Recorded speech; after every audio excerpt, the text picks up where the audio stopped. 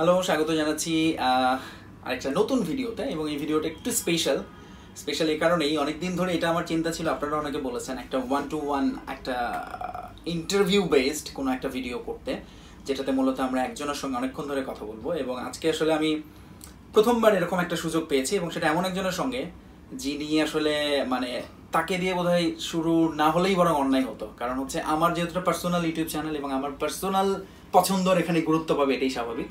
সেক্ষেত্রে আমার খুবই পছন্দের একজন মানুষ আমার সঙ্গে আছেন। না না দেন মিস্টার শাহরিয়ার নাফিস।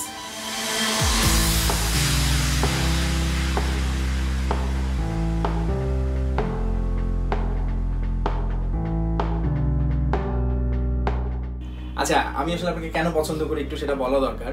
মানে ভালো ক্রিকেটার তো আসলে আমরা সবসময় দেখি, অনেকেই হন খুব ভালো ক্রিকেটার। একই সঙ্গে ভালো মানুষ। মানে দুটো হলে একটা কমপ্লিট প্যাকেজ সেটা আসলে সবসময় মেলে না। তো শাহরিয়ার নাফিস কেমন আছেন আপনি? আলহামদুলিল্লাহ ভালো আছি। আচ্ছা এই যে আপনি সবসময় ভালো থাকেন কি করে আমাদের আমাদের একজন ফেলো ক্রিকেটার মোশারফ রুবেল ভাই। উনি অলমোস্ট মানে টিম ব্রেন টিমার সার্ভাইভ করে এসেছেন। যে ওনার কথা চিন্তা করেন। সো ভালো থাক ভালো থাকার জন্য আসলে কোনো কিছু লাগে না। ভালো থাকার ব্যাপারটা পুরোপুরি নিজের ভিতর থেকে আসে। আপনি যদি ভালো থাকতে চান আপনি ভালো থাকতে পারবেন। ওয়েল আমি আসলে আপনাকে কেন পছন্দ এবং শ্রদ্ধা করি? আমার, আমরা একই ভার্সিটি ঢাকা ইউনিভার্সিটি সেটা আরেকটা ব্যাপার। কিন্তু আমি কিন্তু আসলে আপনার মতো করে এইভাবে চিন্তা করিনি। আমরা যারা জীবন নিয়ে খুব হতাশ, একটুতেই খুব মন খারাপ হয়তো চাকরিটা ভালো লাগছে না গার্লফ্রেন্ডের সঙ্গে ঝামেলা, বা বাসায় ঝগড়া হয়েছে, কিংবা টাকা নাই হাতে এই মুহূর্তে। বাট মানে হতাশা আমাদের খুব ছোট ছোট বিষয় নিয়ে। বাট দেখুন, আপনি এইমাত্র আমি যেটা শুনলাম, এইভাবে কিন্তু আমি চিন্তা করিনি আগে। সো আমরা যদি একটু ওয়াইট করে চিন্তা করি, আমার মনে হয় যে জীবনটা অনেক সহজ হয়ে যায়। তারপরও আপনি লাস্ট ন্যাশনাল টিমে খেলেছেন দু হাজার তেরো সালে এবং এই ছয় বছর ধরে আপনি ন্যাশনাল টিমে আসার জন্য যা যা করা দরকার সবই করে যাচ্ছেন। জি। তারপরও দিনের পর দিন একটা হতাশা কি আসে না আপনার মধ্যে? বা যদি আসেও সেটাকে আপনি কীভাবে আবার মোটিভেট করেন নিজেকে?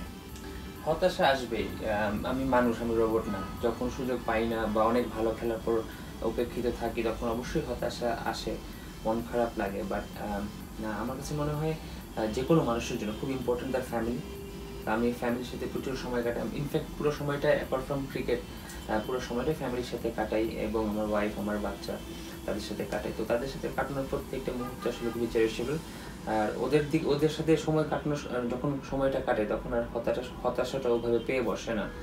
আর একটা জিনিস চিন্তা করি, এটা হয়তো অনেকে বলতে পারে যে আমি বল মানে সুযোগ পাচ্ছি না দেখে বলছি বা বইয়ের ভাষায় বলছি বাট ব্যাপারটা আসলেই সত্য। সেটা হচ্ছে কি আমি যখন ক্রিকেট খেলা শুরু করেছিলাম, তখন কিন্তু কোনো শর্ত বা কোনো বন্ড সিগনেচার দিয়ে খেলা শুরু করি যে আমি জাতীয় দলে খেলব, জাতীয় দলে খেললে বিপিএলে খেলব বিপিএলে এত টাকা পাবো, জাতীয় দলে এত টাকা পাবো, এরকম কিছুই ছিল না।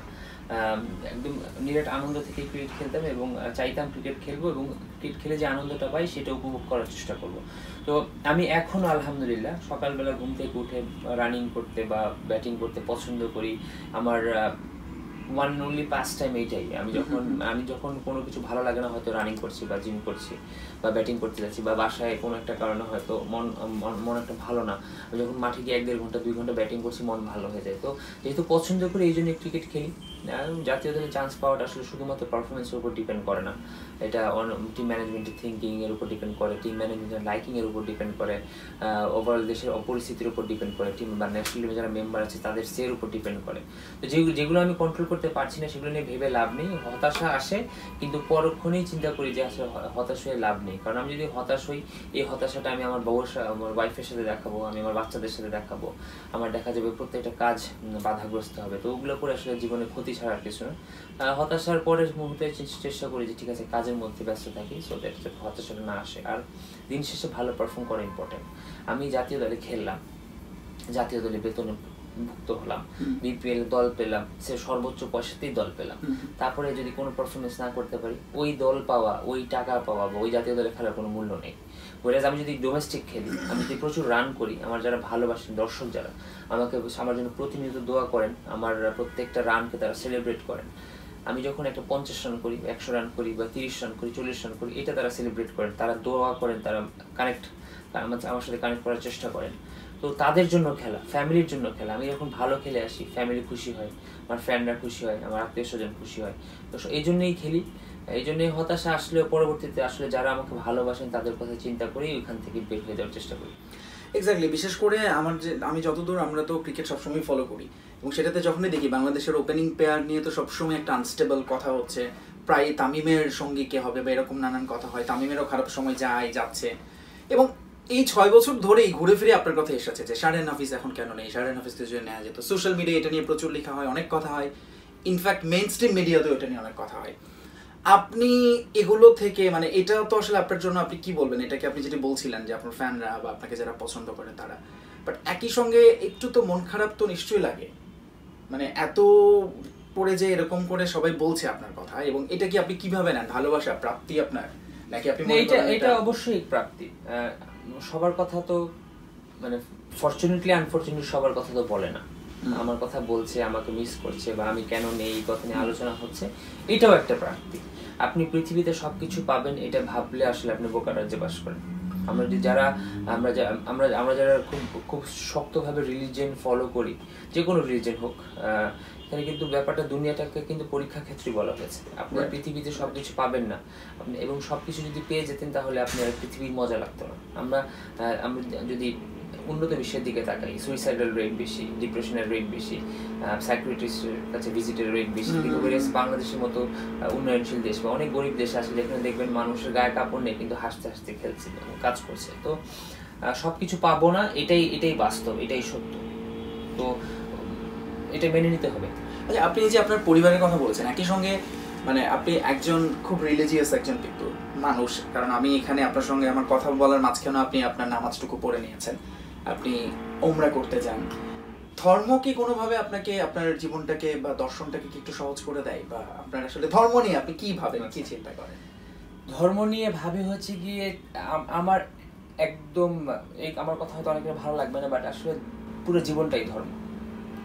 মানে আমরা অনেক সময় বলি ধর্ম একদিকে কাজ একদিকে অথবা ধর্ম আরেকদিকে প্রফেশন আরেকদিকে বা ধর্ম আরেকদিকে জীবন আরেকদিকে। আমি এভাবে দেখি না। আমার কাছে আমার জীবন পুরা আমার জীবন পুরোটাই আমি মনে করি ধর্মই জীবন। কারণ আমি আমি মুসলিম ফ্যামিলিতে জন্মগ্রহণ করেছি আমি ইসলাম ধর্ম প্র্যাকটিস করি। লাইফের প্রত্যেকটা অ্যাসপেক্ট প্রত্যেকটা অ্যাসপেক্টই কিন্তু আসলে ওখান থেকে এসেছে ডিরাইভ করা। আপনি আজকে বলতে পারেন যে, ঠিক আছে, আইন, কানুন কোথা থেকে এসেছে? ওই ঘুরে ফিরে দেখবেন ধর্ম থেকে এসেছে একদম সৃষ্টি শুরু থেকে আদম আলাহিসাল্লামের থেকে শুরু করে। কিন্তু আল্লাহ তালা নবী রাসুলদের মাধ্যমে পৃথিবীতে আইন পাঠিয়েছেন জীবন বিধান পাঠিয়েছেন। আমরা আসলে এই এখন খুব আধুনিকতার কথা বলে জীবনটাকে ধর্ম থেকে আলাদা করে ফেলতে চাই। ধর্মটাকে আসলে ওই জায়নামাজ এবং কোরআন শরীফ একটা ঘরের কোণে একটা রুমে রেহালের মধ্যে কোরআন শরীফ আর একটা জায়নামাজ ওটাকেই ধর্ম বলতে চাই। আসলে ধর্ম জিনিসটা হচ্ছে গিয়ে পুরা কমপ্লিট একটা ওয়ে অফ লাইফ আপনি কীভাবে খাবেন কীভাবে চলবেন কীভাবে কাজ করবেন কীভাবে পরি- বন্ধুত্ব করবেন কীভাবে আপনি বিয়ে করবেন কীভাবে আপনি ব্যক্তিগত মানে লাইফের সব কিছুই আসলে আল্লাহ আল্লাহ তালা বিধান দিয়ে দিয়েছেন প্রফেট মোহাম্মদ সাল্লাহ সাল্লামের মাধ্যমে। এবং এই জন্যে আমি এই- জন্য আমি এখন লাইফকে আসলে ওটা থেকে আলাদা করে দেখি না। যেমন আমি সকালবেলার জীবিকার নির্বাহের জন্য যেরকম বের হই ঠিক নামাজের সময় হলে নামাজ পড়া আমার একটা রুটিনের মধ্যে পড়ে গেছে। এবং। দিন শেষে যেটা যিনি আমার জীবনের মালিক আমরা অফিসে বসের ভয়ে অনেক কাজ করি কিন্তু যিনি আমাকে সৃষ্টি করেছেন তাকে আমরা ভুলে যাই। এবং আমি মনে করি মানুষের হতাশা বা মানুষের সোশ্যাল প্রবলেম বা মানসিক যে অবসাদ বা সবকিছুর মূলে আসলে আমরা আস্তে যত যত আধুনিক হচ্ছি তত আমি আমার সৃষ্টিকর্তা থেকে দূরে চলে যাচ্ছি। হ্যাঁ অনেকে বলতে পারেন যে আপনি আপনার ধর্ম পালন করেন আমি আমারটা পালন করি। অবশ্যই সবার সেই স্বাধীনতা আল্লাহ তালা দিয়েছেন। কেউ কিন্তু বলে নাই যে এটাই করতেই হবে। আল্লাহ তালা মানুষ এই কারণেই একটা স্পেশাল জীব যে একমাত্র সৃষ্টি মানুষ এবং দ্বিতীয় আমি রিলিজিয়াস আমি অবশ্যই বিশ্বাস করি জিন জাতি। এই দুটি সৃষ্টি একেবারে ইউনিক এই কারণে যে তাদের সেলফ ডিসিশন মেকিংয়ে আল্লাহ তারা নিজের ডিসিশন নিজে মেক করার সেই ক্যাপাসিটি দিয়ে দিয়েছেন। গরু, ছাগলের সেটা কিন্তু নাই। মানুষের আছে। তো মানুষের সেই ইয়ে আছে এবং আমিও আমার কনসিয়াস অনুযায়ী আমি ওটা ফলো করার চেষ্টা করি এবং চেষ্টা করি যে প্রত্যেকটা কাজ মানে সবসময় যে আমি যে সাধু সন্ত না যে সবসময় সব কাজ ঠিক করছি বা চেষ্টা করি আমার লাইফের প্রত্যেকটা অ্যাসপেক্ট আমার আমার ধর্ম আমাকে যেভাবে ডিরেকশন দিয়েছে সেভাবে পালন করতে। খুবই দারুণ। আসলে আমি খুব মুগ্ধ হয়ে শুনছিলাম আপনার কথাও। আচ্ছা মোটামুটি আপনি সবই কভার করে ফেলেছেন এই বিষয়ে কিন্তু একটু আপনার পরিবারেরটা বারবারই আসে এবং আমি, আমিও প্রায় বা অনেকে আমরা দেখি এই অঙ্গনে আমরা একটা এক্সাম্পল দিই। আপনার, আপনি মানে একটা বেস্ট কাপল একটা বেস্ট ফ্যামিলি সুন্দর পরিবার এবং সেটা আপনি বলছিলেন আপনার জীবনে চলার একটা বড় পাথেও পেছন থেকে। একটু আপনার ছেলের কথা জানতে চাই, তাকেও, সেও আমি যতটুকু জানি, দেখেছি মানে এখনই বলাটা ঠিক হবে না খুব আর্লি স্টেজ বাট বোধহয় বাবার অনেক কিছু সে পাচ্ছে অ্যাটলিস্ট খেলার দিকে।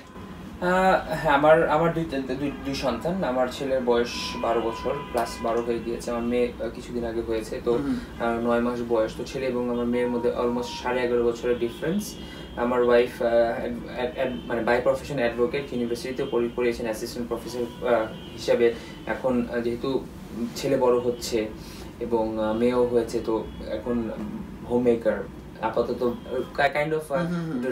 রিটায়ারমেন্ট ঠিক না বাট একটু কাজের থেকে দূরে আছে আমার ছেলে আহ, খেলাধুলা পছন্দ করে আমি আমার বাবা মার থেকে যে জিনিসটা পেয়েছি সেটা হচ্ছে গিয়ে ওনারা সবসময় বলতেন যে খেলাধুলা করলে ভালো কাজে ব্যস্ত থাকা যায়। তো আমিও সেই সেম দর্শনে বিশ্বাস করি এবং আমার ওয়াইফও একই জিনিসটা বিশ্বাস করে যে বাচ্চা কাচ্চা এখনকার যুগে বিশেষ করে এই যুগে যেভাবে মোবাইলের দিকে ছয় ইঞ্চি স্ক্রিনের মধ্যে আটকে যাচ্ছে. ভেরি ডিফিকাল্ট আমরা সারা দুনিয়া থেকে ডিটাচ হয়ে বা ছোট্ট একটা হচ্ছে এখানে সবাই আমাদের মোবাইলে হয়তো দেখছে। না ঠিক আছে। টেকনোলজি প্রয়োজন আছে অবশ্যই। আমরা প্রত্যেকটা জিনিসে ভালো এবং খারাপ আছে। আপনি একদম ফ্রি অ্যান্ড ফ্র্যাঙ্কলি বললে আপনি একটা মোবাইল ইন্টারনেটের মাধ্যমে আপনি লাইফ সেভিং ডিরেকশনে পেতে পারেন আবার আপনি পর্ন দেখে সারাদিন সময় নষ্ট করতে পারেন। একটা দেখুন একটা ল্যাম্প যখন জ্বালায় ল্যাম্পের ঠিক নিচ জায়গাটা কিন্তু নিচে কিন্তু অন্ধকার থাকে হুম। ল্যাম্প কিন্তু সবাইকে আলোকিত করছে। তো প্রত্যেকটা জিনিসের ভালো জিনিস দিক আছে খারাপ দিকও আছে। তো আপনি কোনটি নিবেন উপ- এটার উপর ডিপেন্ড করে আপনার রেজাল্টটা কি পাবেন। ইটস নট লাইক যে আপনি কোনটা ওটার উপর ডিপেন্ড করে আপনি কি বলছেন। রেজাল্টটা আপনি ভালো খারাপ যেটা বেছে নেবেন ওই রকমই পাবেন। তো আমার ছেলে, আমি খেলছে এবং আমরা আমি চাই যে ও খেলুক খেললে অ্যাটলিস্ট পড়াশোনার পাশাপাশি শরীর স্বাস্থ্যের দিক থেকেও ভালো এবং খেলতে খেলতে যদি, যেমন আমার ক্ষেত্রে হয়েছে, খেলতে খেলতে খেলোয়াড় হয়ে গেছে, ও যদি খেলতে খেলতে ভালো করে খেলোয়াড় হবে কোনো সমস্যা নেই। আপনার একটু ডায়েট নিয়ে তো আসলে অনেক রকম ইয়ে থাকে ক্রিকেটারদের যারা অ্যাথলেট বিশেষ করে। আপনি কীভাবে আপনার ডায়েটটা করেন বা মেনটেন করেন? আপনি সবসময় একই রকম দেখি এখন মনে হচ্ছে আগের চেয়ে বেশি ফিট হ্যাঁ এইটা এইটা। আমার সত্য আমি অস্বীকার করব না। আমার লাইফস্টাইল খুব যে একদম আদর্শ ছিল ওরকম ছিল না। বাট একটা স্টার্টিং এজে এসে আমার কাছে মনে হয়েছে বেসিক্যালি আমার ওয়াইফ এটা আমাকে বলেছে যে, দেখো if you want to play cricket তোমার you should be an athlete normal আট দশটা মানুষের মধ্যে যদি শরীর স্বাস্থ্য থাকে, তাহলে আর ডিফারেন্সটা কী হলো? তো এরপরে থেকে আমি একটা একটা এবং যখন ন্যাশনাল টিমে একটু স্ট্রাগল করছিলাম, তখন থেকে আসলে এই ব্যাপারে সিরিয়াস হওয়া এবং আমার এখন মনে হয় যে যতদিন বেঁচে থাকব ফলো করা উচিত। কারণ সুস্থতা আল্লাহ তালার সবচেয়ে বড় নিয়ম যদি সুস্থ একটা মানুষ সিম্পল আপনি একটা নখ উঠে যাক আপনি এটার যে যন্ত্রণা এটার যে আসলে খারাপ কিছু নেই। তো আমি মনে করি সুস্থতার জন্য এই ডায়েটটা খুব ইম্পর্টেন্ট এবং চেষ্টা করি খুব যে বলব না যে ওই ঘাস ওই লতা পাতা ওই চা এগুলা খাই না।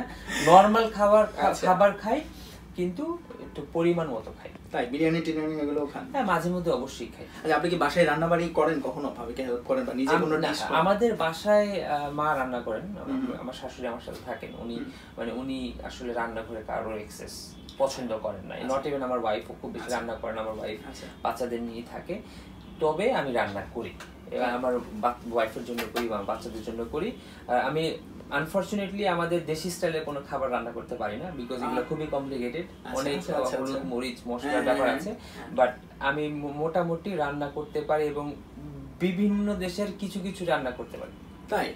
এর মধ্যে আপনার আপনার নিজের আপনি কোনটাকে সবচেয়ে টপ রেটেড বলবেন? আমার কাছে মনে হয় আমার স্টেকটা খুব ভালো হয়। ওকে একদিন খেতে যাব অবশ্যই, বাসায়। এর। আগেও একবার খাওয়ার সুযোগ হয়েছে এক দুবার। ইনশাআল্লাহ এরপরে তাহলে স্টেকের জন্য যাব। আচ্ছা আপনাকে আমি কয়েকটা র্যাপিড কোশ্চেন করে শেষ করছি র্যাপিড ফায়ার জি।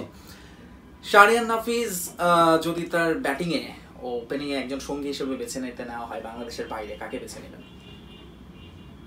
একটু ডিফিকাল্ট কোয়েশ্চেন কত প্লেয়ার আছে? এই মুহূর্তে যদি হয় একদম এই মুহূর্তে এই মুহূর্তে রাইট নাও রোহিত শর্মা। আপনার সবচেয়ে ভয়ঙ্কর মনে হয়েছে অপোনেন্ট হিসেবে বোলার কাকে? মুতিয়া মুরলীধরন। আচ্ছা আপনার নিজের প্রিয় ইনিংস বলবেন কোনটাকে? দুইটা। অবশ্যই অস্ট্রেলিয়ার সাথে টেস্ট হান্ড্রেড 138 এটা আমার ফেভারিট মোস্ট ইনিংস ঠিক এটার খুব কাছাকাছি আছে বাংলাদেশের as a Bangladeshi batsman first T twenty hundred যেটা করেছিলাম। ওই ম্যাচে একশো দুই রান করেছিলাম সাতষট্টি বলে নট আউট ওই ইনিংসটা প্রিয় ওকে আপনার আমরা আপনি আপনার ফ্যানদের কথা বলেছেন। আরও একবার একটু আমার মনে হয় যে যদি তাদের অনেক চাওয়া থাকে প্রশ্ন থাকে আপনার কাছে। আপনি কি তাদেরকে একটা ইউনিভার্সাল ওভারঅল কোনো মেসেজ বা কোনো কিছু বলতে চান কিনা? আহ, অবশ্যই যারা বাংলাদেশ ক্রিকেটকে ভালোবাসেন যারা আমাকে ভালোবাসেন তাদের প্রতি আমি কৃতজ্ঞতা প্রকাশ করছি। আপনাদের আহ, প্রতিনিয়ত আপনাদের দোয়া, সমর্থন কিন্তু আমি, সমর্থনেই কিন্তু এত জোর খেলেছি এবং আশা করছি করছি, যতদিন খেলব, ততদিন আপনাদের দোয়া পাবো। আপনাদের প্রত্যেকটি সাপোর্ট প্রত্যেকজনের সাপোর্ট এবং আপনাদের দোয়া কিন্তু আমাকে ভালো খেলতে সাহায্য করে এবং আপনাদের কারণে খেলছি। ছয় বছর ধরে ধরে জাতীয় দলের বাইরে কিন্তু আপনাদের যে চাহিদা বা আপনাদের যে দোয়া, এই কারণে কিন্তু খেলা। এবং এই জন্য চেষ্টা করব ভালো খেলতে এবং আপনাদের কাছে আমি দোয়া চাই। দোয়া প্রার্থী হলে হয়তো বললে হয়তো মনে হয় যে ভোট চাচ্ছি বাট আসলে না। আপনাদের দোয়া আছে যাতে ভালো খেলতে পারি, সুস্থ থাকতে পারি এবং ক্রিকেটের মাধ্যমে বাংলাদেশকে সার্চ করতে পারি। থ্যাংক ইউ আর সবাইকে আপনি কি আরেকটা কথা বলতে পারেন? যে আমার চ্যানেলটাকে সবাই সাবস্ক্রাইব করতে পারে। হ্যাঁ অবশ্যই যেই চ্যানেলে আপনারা দেখছেন বলতে হবে না। এটা আপনারা সাবস্ক্রাইব করুন। ইনশাআল্লাহ আরও অনেক ভালো ভালো কন্টেন্ট পাবেন। Very very intelligent okay thank you thank you bye bye নাম রিয়েলি রিয়েলি মানে আপনার সঙ্গে আমি যতক্ষণই থাকি কথা বলি খুব ভালো লাগে সময় কাটে এবং এটাও পাই থ্যাংক ইউ ভাই ওয়েলকাম